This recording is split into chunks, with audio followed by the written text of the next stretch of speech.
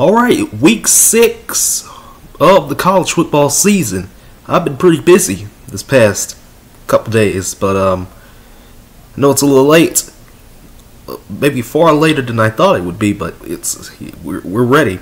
And week six has already technically started. Now the game, the SMU UCF game, had to be moved to Wednesday, which is tonight. So uh, that game probably already went final. But it doesn't matter. It doesn't matter. Um, the rest of week six is going to be interesting. Are we going to talk about A and uh, Are we going to talk about A and M? Yeah, we're going to talk about A and M. Yeah, we're going to talk about we're to talk about Arkansas. We're going to talk a little bit about you know all, all those some of these teams that have been just kind of struggling so far. And you'll notice that the Texas Oklahoma game has no not not one of those two teams are ranked, so we're not even gonna talk about it. I'll mention it here just cause I'm a Texas fan and that that game is, you know, ESPN of course is putting all, you know, their ad dollars into that game when that game probably doesn't even matter anymore. Like the game doesn't even matter for the purposes of a national championship and honestly potentially for the purposes of a Big 12 title too. It could not matter less, honestly. But in the end, we have other things to discuss. We have other Big 12 teams to discuss, so let's get to it. In the noon slate, I'd say uh, skip these first two, but we're going to talk about them anyway. That's Arkansas, Mississippi State, as Will Rogers and KJ Jefferson battle but you kind of wonder which defense here is going to shine a bit more. I'm leaning towards Mississippi State's. A lot of people, a lot of people are, you know, leaning towards Mississippi State's defense being able to do a lot better because Arkansas's defense has just not been great so far, and it's just it's a com it's going to be a common thing with this preview for the night. Um, I'm telling you because there's a lot of bad defenses at all in some of these games. You got Michigan, Indiana. Yeah, another big noon game for Michigan. I know it's wild. Um, it could have went. You know, Fox could have went to you know just switch the games around for uh, for um, this um, the fourth game in the noon slate that we'll talk about. But that's neither here nor there. As long as the Wolverines keep improving, they can get by Indiana. It, but I don't know. I haven't felt that Michigan has really done anything impressive so far. They really have not. Again, Iowa's offense was not that great. Their defense, they did enough. I, Iowa's defense did enough to keep them in the game because again, it was twenty to nothing and then it turned to twenty to fourteen that quick. You know, yeah, it took a little while because you know it took Iowa to the fourth quarter to get even you know two touchdowns, but it was still kind of dangerous towards the end, in which Michigan had to put it away. Maryland, same thing. They had they, they had to wait until late in that game to put it away. Michigan, I don't feel like Michigan is the number four team in the country, and I, I, I genuinely don't know why people are thinking that Michigan is. Oh well, you know Michigan's gonna go all the way to Ohio State 11 and 0. I just don't think that's going to happen. I feel like Michigan is due for a loss at some point. It could be on Saturday against a 3 and 2 Indiana team that got the brakes beat off of them by Cincinnati just last week. Tennessee LSU, one of my highlighted games. You know, it's a good one. Hendon Hooker, Jaylen Wright, the up tempo Vols offense going up against a good, good Tigers defense. Brian Kelly's got them, you know, doing good things out there. And this one's going to be a good one in the noon slate. If you don't want to watch Oklahoma, Texas, or, or this next game, I suggest you watch this one. This one's going to be real good. It's going to be real interesting. But honestly, the game of the week, the game of the week, in my opinion, TCU, Kansas. Where is defense when you need it? Because it's not going to be here. Max Duggan, Jalon Daniels, game day. Coming to Kansas for the first time ever. It's going to be one hell of a game. Gonna be watching this one for sure. Um, Tennessee LSU, I'll just like keep it, you know, I'll, I'll switch back and forth from it. But I'm keeping my eyes on this TCU Kansas game. We're going to be watching the Big 12. you know, Big 12 for brunch, baby. Big 12 for brunch. That's what we should do. We should do the hashtag, you know, on Twitter. Big 12 for brunch. I'm gonna do it. You might see you might see my tweet. Big 12 for brunch, baby. That's what we're gonna do. In the afternoon, uh, we got USF, the Cincinnati. Cincinnati finally back on track to being that group of five team that will be the highest ranked. You know, as of right now, there is still a Tulane Green Wave team lurking. But Ben Bryant, he shouldn't have too much trouble against USF. USF's pass defense is uh, not good. Actually, USF's defense in general is not good. Just terrible. Like, have you seen South Florida's defense this year? Have you seen that? Have you seen that defense? I think you have. We talked about it. They're bad. They're bad, bad. Auburn, Georgia, I have highlighted uh, just because, um, you know, because I think the dogs they need a comeback week, but they sh- they've been struggling lately, and you know Auburn has a bad offense too, like Missouri's, but Auburn is technically more competent than Missouri because Missouri lost to Auburn. So I'm thinking, you know, I'm thinking maybe, maybe, just maybe, Auburn can do something here. I doubt it, in all honesty, but there's still an opportunity for something good to happen for Auburn. Not not for Georgia and not for everybody else around the country, but for Auburn. This could be interesting. You know, one of the oldest rivalries in the Deep South. You know, you know, being played in October this year because yeah, that's just how it is. Another big one, number eleven, Utah. Number eighteen, UCLA, Dorian Thompson Robinson. Chip Kelly and the Bruins go up against Cam Rising and the Utes.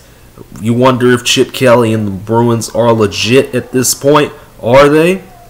They proved it a little bit last week against Washington. Now you got to prove it again against Utah. You keep this up, you're gonna be in good, good position, UCLA. You're gonna be in good position. But this is it. This is the Utes. They are no slouch. Not one slouch whatsoever here. Texas Tech, Oklahoma State. Um, I know I said some, I think I said Spencer Sanders had a fine week last week. In fact, he's been kind of he's been kind of playing terribly. He needs to do a little bit better. Can he? Because Tech's defense is stingy. It's not great. They they can stop you, but they allow a bit too many points. So, you know, Oklahoma State has to get something going. They have to do something. Can they? I mean, I, I, I mean, they're number seven for a reason, so they gotta they gotta do something. Oh Lord, pray for Michigan State though. Pray for Michigan State. Thoughts and prayers to Michigan State because C.J. Stroud might light them up. Like this defense for Michigan State is that bad. Ohio State has been rolling, you know, typical Ohio State shenanigans in the CFP era, mostly just rolling along through teams, steamrolling them until you know one or two games down the line against much much better teams. And Michigan State is just not one of those much much better teams this year. I'm sorry, they're just not. Washington taking on Arizona State. You got Michael Penix Jr. lighting up the Sun Devils defense. I think, in my personal opinion, because Arizona State's defense is terrible. You know what's also terrible? Paul Chryst getting fired. No, I'm just kidding. That's not terrible at all. That's kind of funny. Wisconsin fired uh, uh, a, a, a nine win coach, you know, like a guy that perpetually gets nine plus wins every year. How do you do that? That's pretty funny to me. But yeah, I think Washington should take care of business against Arizona State. Why, why again, why are all these coaches getting fired like every week, man? What is going on? Like, bruh. It's only week six. I swear we've had a coach being fired during the week every week this year, but that's neither here nor there. And then Ole Miss Vanderbilt to round out the afternoon slate. Jackson Dart and the Rebels still unbeaten. They got to take on a improved Vanderbilt def. Well, actually no, the Vanderbilt defense is not great either. Never mind. But Vandy's a little bit improved. That's good, right? Ole Miss shouldn't have any trouble here, but you never know. Again, you never know. In the evening, since there is no Pac-12 after dark, so you know, uh, I think I think we can get the I think we can get the uh, video out for the next couple weeks actually before midnight. So so these so some of these next couple weeks will actually be Saturday videos, which I'm I'm quite happy about. Because Washington State USC is probably the best game in this window, along with the Florida State NC State. But you know, a duel out west with Cam Ward, Caleb Williams, and that Trojans offense. Uh, honestly, that's probably the highlight of the night slate. Washington State, a lot of Washington State fans pretty angry that they're not ranked yet. You got to go out there and prove it first. You got to go out there and prove it. You can't. Wisconsin's not an indicator that you should be ranked. We, we know we know this. Come on now. You got to beat the big boys. You got to beat bigger teams, bigger, faster, better teams. And USC has acted like that at times this year. I would say that defense is though. BYU Notre Dame, number 16 BYU and Notre Dame. You got Audric Estime playing pretty good for the Fighting Irish. Drew Pyne, he's the guy that's going to be starting now for Notre Dame. You know, Notre Dame has two losses. BYU's been struggling to put other teams away. Wyoming, Utah State, just to name a couple. You know, the last couple weeks, and they kind of need to do better right now. They want to get themselves in position for something better down the road. But they, they really got it. BYU has to. If they lose this game, you can you could throw out those those Cotton Bowl invites, you know, the Big Boy Bowls invites. You can throw out those New Year's Six invites and get ready for like the Independence Bowl or something. So, BYU fans, you you you, you might have to tear up your plans to go to the Cotton Bowl or whatever, you know, real soon if you can't put teams away and you can't you can't beat Notre Dame. If you can't beat Notre Dame, you might as well put the Cotton Bowl tickets away. South Carolina takes on Kentucky. I'm still kind of surprised that Spencer Rattler and South Carolina, the Cox, are forward too. Will Levis and the Cats, they need to rebound right now. They need to get back in the form. You know, you lost against Ole Miss in the game you shouldn't have lost. You got to do better. Clemson taking on Boston College in the ABC Saturday night game for some reason because I don't know why. You got DJ Uiagalelei and the Tigers. They're feeling good. They're looking better. I wouldn't say good because there's still questions. You know, Bryan Bresee is that still out, and I mean, is is are the Tigers really legit? Are they really for real? That's the biggest question. I, you know, it's been partially answered, but it hasn't been fully answered. You once you get to the ACC championship, then you can fully answer it. But right now, I just don't see it. I still don't see how this team is number five in the country either. I just don't see it. Like it, they just they just don't look legit. You you know you got Boston College with the uh, the red bandanas thing. Uh, I think that's a pretty interesting thing. You know, BC's looking for an upset, so we'll see if they can get it. Iowa State taking on Kansas State. Adrian Martinez and the Cats head up to Iowa to take on the Cyclones. This will be a tough game. Um, Iowa State is no slouch. Again, they ended up they they they've taken games to the limit. Yeah, Iowa State has an offense that just cannot seem to score. You know, at the right times at least. But if they can keep Adrian Martinez contained with that defense, it could spell trouble. Army's defense is also pretty horrid. I don't know why. Like you'd think you'd think Army would have a little bit more discipline, but no, that's not the case. This defense is awful.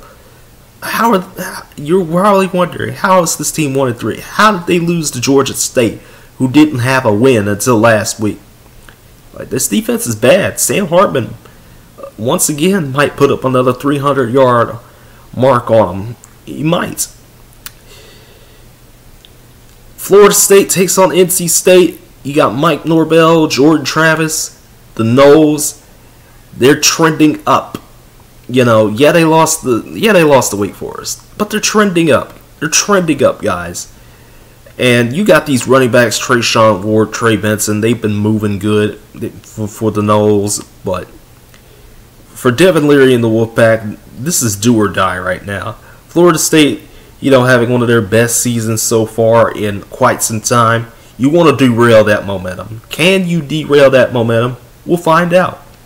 And in A&M, Alabama, I don't even know why we're talking about this game. Like A&M has lost two games. No point talk about this one. But there are some intriguing questions still to be answered, despite the trash talk from months ago being not relevant now. Is Bryce Young ready to go? Can Jimbo Fisher and the Aggies get it together in Tuscaloosa? You know, last year they were at A&M in College Station, and and you know that environment maybe you know scared Alabama a little bit, maybe scared them a little bit. And you know you got Jahmyr Gibbs, Jalen Milroe.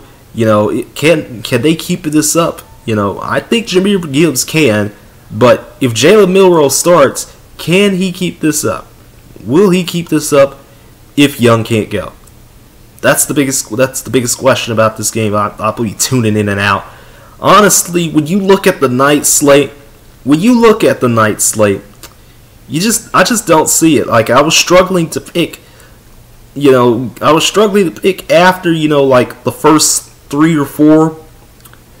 You know, games for for my six highlighted games because I got Washington State, USC, Florida State, NC State, Utah, UCLA, Auburn, Georgia, TCU, Kansas, and Tennessee, LSU. I, I, was thinking like, do I just do I just go ahead and be like, let me let me highlight Texas, Oklahoma real quick, just cause. And I was like, nah, I'm not gonna do that. That's that's not what we do here. We talk about the top 25, who's ranked in the top 25. And I was just like, yeah, might as well might as well not do that. So um, there was an audio issue with the NFL um, recap for Monday night. I don't know what happened. I'm not re uploading that video. And if something happens to the audio here, uh, I'll, I'll try to fix it. Hopefully this time, because last time I didn't feel like fixing it, and you already got, I already got like seven to ten people watching, you know, for like the 10 seconds that they probably watched it anyway. So until Saturday night at about 11:30 or so, I'll see you all and take care. Have a good night and I'll see you Thursday when I get back from Irving teaching 7th graders English. Take care everybody. Good night.